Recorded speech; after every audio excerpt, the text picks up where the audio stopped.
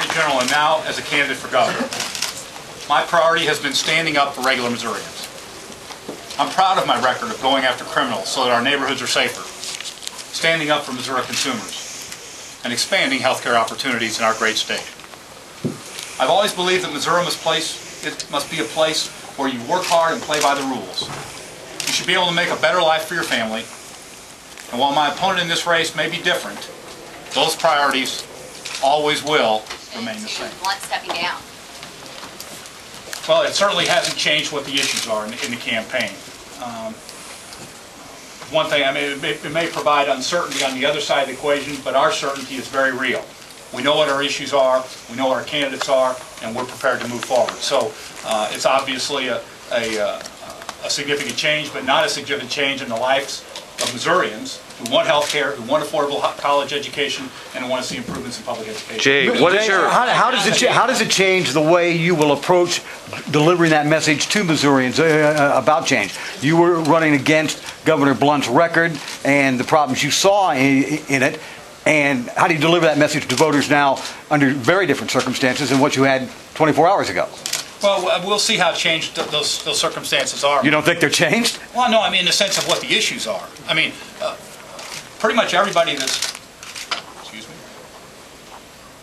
tell me who this is, I make a determination as to whether to save it or not.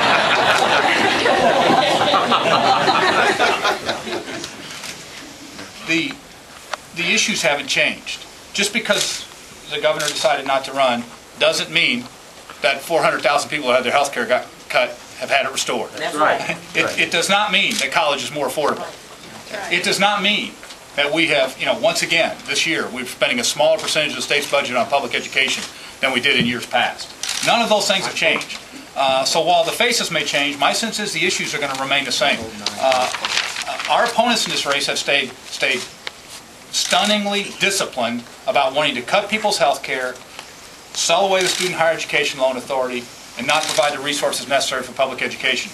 And regardless of who the Republicans choose to bring that message, I fully expect that to be their message uh, as we move forward in this election. Jay, what is your reaction to possibly uh, Kenny Hulshof running against you, a man that used to work in your office?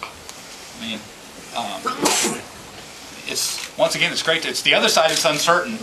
We're united. Uh, So I, I'm not going to get into being a pro- political prognosticator about what happens uh, as Republicans attempt to either have a primary or, or coalesce around, uh, around a single candidate. Uh, All I know is that we have a great deal of certainty on our side. I think that the work that we've put in on the issues that we have over the last three years have put us in a position we're in right now to be in an election year, uh, to be in a position uh, to, uh, to, to control the, the- the, the agenda and the debate in this, in this campaign, and I'm excited about that. I don't, individual players are not where my anal- analyzation is. Um, This is not about who I'm against, you know, it's about who we're for.